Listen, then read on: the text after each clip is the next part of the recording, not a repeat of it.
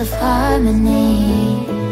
Left me with the pieces of forever that you broke. But since you left me alone I've been